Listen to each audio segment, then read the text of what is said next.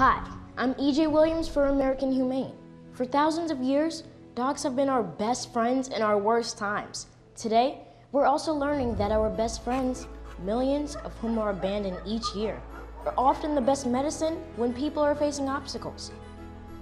To help both people and animals, organizations like American Humane have been working to harness the healing power of the human animal bond finding animals in need of forever homes and training them as life-saving service and therapy dogs to help our veterans, the elderly, and children overcome the daily obstacles of life. In this way, the rescued can become the rescuers.